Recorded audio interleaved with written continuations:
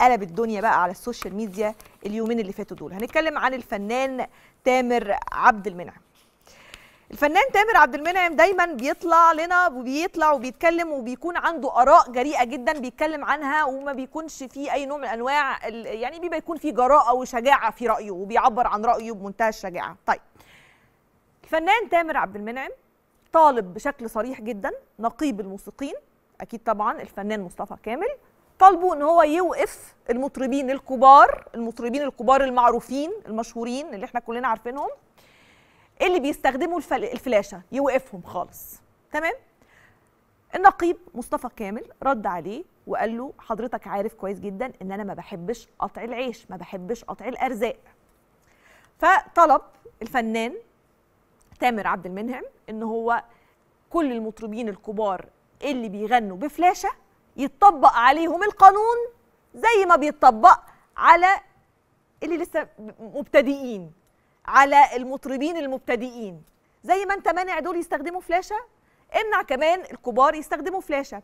ووضح كمان بيقول لأنه كبار المطربين انتهت صلاحيتهم أو انتهت صلاحية أصواتهم حسب وصفه هو.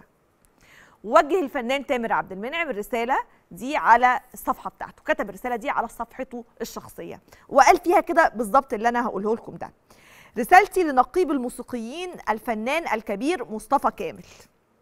قبل منع صغار المطربين من الغناء بفلاشة على النقابة أن تمنع الكب- الكبار اللي بيعملوا كده الذين يفعلون ذلك. وبكل بجاحة عملا بمبدأ التوفير من جهة ومن جهة تانية بسبب انتهاء صلاحية أصواتهم. كتب كده بالظبط. هل هو كان يقصد فنان معين؟ هل كان يقصد مطرب معين؟ ما نعرفش. طيب. رد عليه الفنان مصطفى كامل وقال أخي العزيز الفنان الكبير الأستاذ تامر عبد المنعم أعلم أنك تعلم أنني ضد قطع الأرزاق بكافة أشكالها وصورها وتحملت الأمانة والأمانة هي ليست إدارة السوق الغنائي فقط وإنما هي إدارة كيان مؤسسي هدفه الأول والأخير حماية الأعضاء المنتمين للمهنة. ده كان رد الفنان والنقيب مصطفى كامل.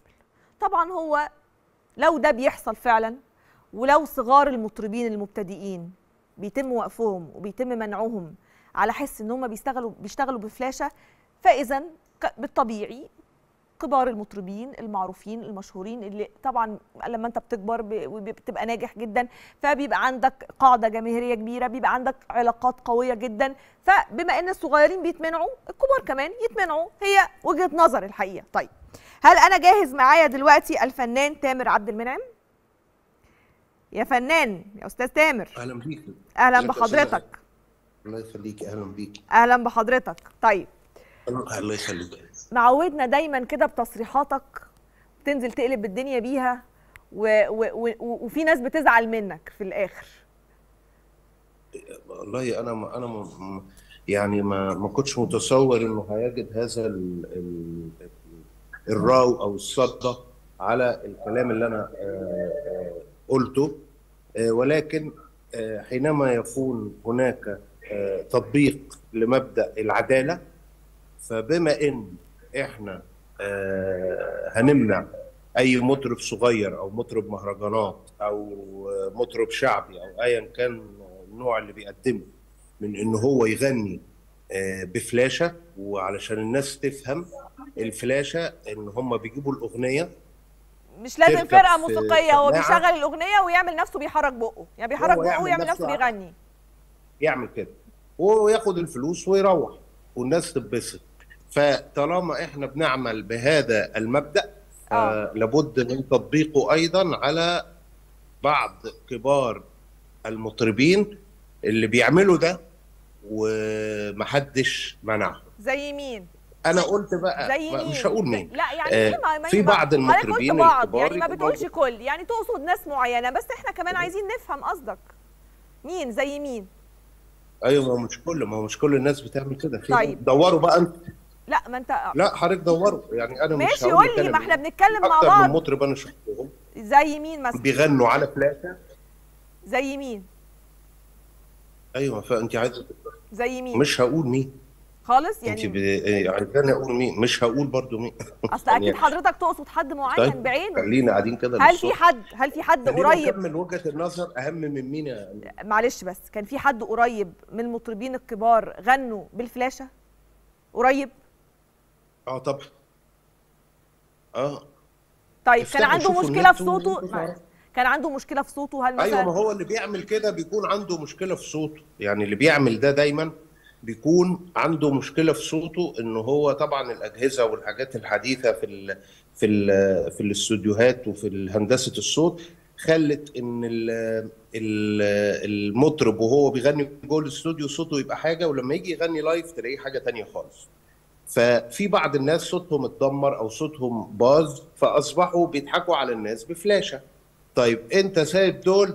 ده اللي أنا بقوله لأخويا وحبيبي مصطفى كامل اللي أنا بحبه وبحترمه جدا وعلى فكرة هو صديق عزيز يعني. مم. بقول له زي ما بنمنع الصغيرين من ممارسة العمل بفلاشة علينا أن نمنع الكبار من ممارسة العمل بفلاشة لأن من المفترض إن إحنا بنحافظ على أو أنتوا يعني كنقابة بتحافظوا على الصناعة بتاعة الأغنية وعلى. الشكل بتاع اللايف وبتشغلوا الجماعة الألاتية اللي موجودين. يعني ما يجيش مطرب يسافر ما ياخدش معاه فرقة علشان يوفر فلوس الفرقة والإقامات والسفر والحاجات دي ويروح آه، طالع عامل كده. أنا ما أقدرش أطلع في يعني ما كنا بنسافر مثلا يعني من ناحية تانية برضو عشان التوفير عشان ما يح... عشان ال- الفرقة الموسيقية بيبقى ليها بادجت برضو فهو عشان يوفر البادجت دي فبيشتغل بفلاشة.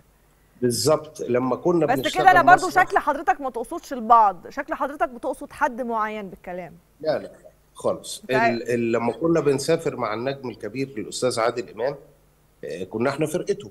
أيوه. كنا بنطلع آه، لينا مثلا آه، 12 تذكرة business class ومثلا 40 تذكرة economy في 12 واحد بيقعدوا في آه، سويتات والنجم بتاع الفرقة اللي هو الأستاذ عادل إمام يقعد في suite ملكي.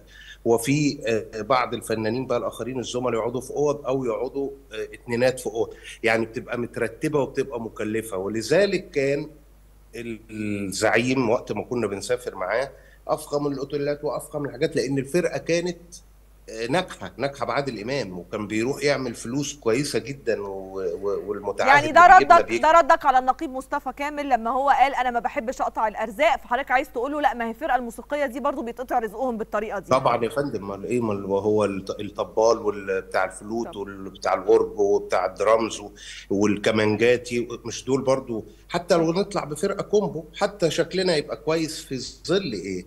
أما بنشوف إخواتنا في لبنان اللي بيغنوا. تلاقيهم جايين بفرقة مظبوطة وبياخدوا أعلى الأجور. ولذلك الواحد بيحترم عمرو دياب إنه دايما نم- number 1 في الأرقام. نمرة واحد في الأرقام تلاقيه آه، عمرو دياب. وما يسمعش إن حد يبقى واخد رقم أكتر منه. فلما بنشوف إخواتنا اللبنانيين جايين بيغنوا ومعاهم فرقهم و و و بالشكل ده بيقدموا بيرفورمانس مش طالعين يعملوا سبوبة بنغير على آه، من يحمل جنسيتنا ويسافر يطلع ولا يروح في حتة يشغل فلاشة ويضحك على الناس ويقعد آه، يعني خلاص مش مش بلاش دي. انت عايزه تقولي إيه تاني يا أميرة؟ أنا عايزة أقول هي على فكرة أنا عاجبني النقطة اللي أنت قلتها الأخرانية دي حقيقي إنه أنت فعلا الفرقة دي فيها ناس كتير جدا والفرقة دي بتسترزق. فلما انت تطلع معاهم ويجوا معاك هما بيسترزقوا. لكن لما تطلع تغني بفلاشة طب ما الفرقة دي كلها مش موجودة. فهي برضو دي يمكن دي وجهة نظر أنا يعني معاك فيها الحقيقة. طيب لو مين بيعجبك على المسرح بيغني بدون فلاشة؟ بيعجبك صوته أو صوتها؟ عمرو دياب آه، رامي صبري تامر حسني آه، محمد حماقي شيرين بالرغم من المشاكل يعني الكتيرة اللي عندها مؤخرا لكن تطلع على المسرح حضور وخير سفير للأصوات المصرية يعني. ها. آه، في في أصوات كتيرة جميلة وجيدة وممكن ما تكونش بقى نجوم يعني كبار زي الأستاذ عمرو دياب و- مين من النجوم اللي مش كبار اللي بيعجبك صوتهم وبيطلعوا يغنوا بدون فلاشه مثلا هو نجم صغير لكن صوته جميل جدا أحمد جمال. مثلا. آه، غادة رجب ممكن تكون آه، طبعا طبعا. آه، قيمة غنائية كبيرة و... و... و... ومن أعمدة الغناء يعني في الوطن العربي. مم. لكن هي واخدة اللون بتاع إن هي تنزل في حفلات كتير وكده فمش واخدة البريق النجومية دي لكنها نجمة في المجال ده. طبعا طبعا. شوفي طبعا. في أنغام ونجمة كبيرة. في عندنا كمان أصوات جميلة جدا داخل النجم دار الن- الأوبرا النجم أحمد سعد؟ واحمد سعد؟ صوت شوفي صوت عبقري. صوت عبقري. إيه ألو ده كده يعني ده آه، أنا أحب أحمد سعد. ف- هو هو آه، هو صوت صوت مميز جدا أحمد سعد جدا. رامي طيب. صبري خل... خلينا خلينا نتكلم. أنا متعودة منك على الصراحة. تمام؟ حضرتك قلت دلوقتي أنت قلت دلوقتي الأصوات الجميلة الحلوة اللي بتطلع تغني بدون فلاشة وبتطلع تغني بفرقتها الموسيقية. مين بيطلع يغني؟ طب هقول لك حاجة حلوة. بتسمعي طب أنا هقول لك حاجة؟ تانية. هقول لك حاجة تانية. عايز تسمعيني؟ أنا عايز أسمعك. أنا ما أنا مكلمك عشان طب أسمعك. اسمعيني. طب اتفضل. تسمعيني هريحك. اتفضل. هريحك. اولا أنا لما كلموني أنا بره مصر. عارفين حضرتك في إيطاليا. وأنا علشان معزتك عندي وعلشان دايما بنعمل حلقات جميلة مع بعض وبننجح سوا. طبعا طبعا.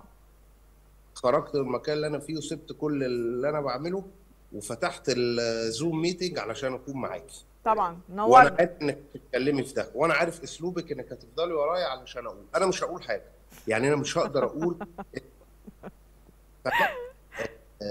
في رمضان انت مش عاملة شغل في رمضان؟ طبعا أكيد أكيد أكيد. هتنورني طبعا في رمضان طبعا.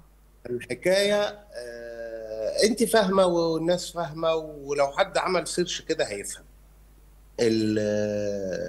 ده فيها اصله خداع للناس. يعني أنا مش أنا ما أحبش أخدع حد. طب ما يعني ما تقول للمطرب اللي, اللي أنت بتقصده ده ما توجه له رسالة دلوقتي؟ وهو مش واحد. يعني للمطربين كل اللي بتقصدهم الكبار. إلى كل أو مطربة آه، آه، يعني شوفوا عمرو دياب. الراجل عنده 61 سنة. شكل إيه وجسم إيه و وفت و... و... وصوت و... و... وتنوع في الأغاني وقدرة على الاستمرار مع الأجيال عظمة عمرو دياب. في قدرته على الاستمرار إن أنا أكون كنت بحب على أغاني عمرو دياب وتيجي بنتي النهارده اللي عمرها 19 سنة تحب على أغاني برضه. بس طبعا. يعني ما بقول لها اوعي لها هضربك. لكن يعني الجيل ده أقصد. أيوه. الجيل ده. الجيل ده إزاي عمرو دياب قدر يتواصل معاه؟ ده يدرس. أنا لو بغني هشوف الراجل ده عمل إيه؟ وامشي على آه، طريقه. ودايما أشوف تامر حسني يقول ده أستاذي رامي صبري يقول ده أستاذي أيوه. حماقي يقول أستاذي أيوة. آه، يجي مصطفى قمر أيوة. يجي هشام يقولوا ده الالفا بتاعنا. طبعا. آه، حتى king منير يقول عمرك شفتي محمد منير بيغني على فلاشة مثلا؟ طب وعمرو مصطفى طيب. وعمرو مصطفى ملحن كبير على فكرة طبعا وصاحبي. طبعا طبعا ومش أقصده، لا تكوني فاكرة إن أنا أقصده وهو ما بيغنيش على فلاشة. أنا بحب لا لا لا على فكرة ده مش قصدي خالص. أنا مش على مصطفى. فكرة أنا أعتقد إن أنا عارفة حضرتك بتتكلم على مين بس أنا ما أقدرش أقول يعني لازم لازم أنت اللي تقول. يعني أنا عارفة إن كان في بينكم خلافات كمان. وأنا عندي خلافات مع مصر كلها. عندك خلافات؟ لا مش هنتكلم على الخلافات دي دلوقتي. استنى في رمضان؟ هنتكلم على خلافاتك مع مصر كلها. في رمضان إن شاء الله بإذن الله. طيب وجه رسالة للنقيب مصطفى كامل. نعم. وجه رسالة للنقيب مصطفى كامل نقيب بحب مصطفى كامل مع حفظ الألقاب. صديق عزيز جدا راجل محترم استطاع في وقت قصير جدا يقولوا عليه no time إنه يثبت نفسه ويثبت وجود النقابة ويلم كل حوله. وش يعني معلم. يعني. الحقيقة مصطفى كامل معلم ومثقف. وراجل محترم. وشوفي شوفي شوفي طريقة رده عليا. ما طبعا. فيش كلمة غلط باللغة العربية. راجل صح. متعلم راجل شاعر فاهم يعني هو فاهم هو فاهم المنصب بتاعه إيه وفاهم يعمل إيه. أنا عايزة أقول لك معرفش تعرف ولا لأ إن قبل ما يكون النقيب كان عامل معايا حلقة في البرنامج بتاعي. أيوه شفتها. شوف وقلت له قلت له هتبقى النقيب. قال لي هنشوف. ومش عارف إيه ولأ أو ما أعتقدش. قلت له هتبقى النقيب. أميرة. ما تشوفي لي كده هبقى عميد هبقى أي حاجة كده ولا في رمضان هقول لك. في رمضان أكيد هقول لك. ما هنعمل حلقة أكيد وهنعمل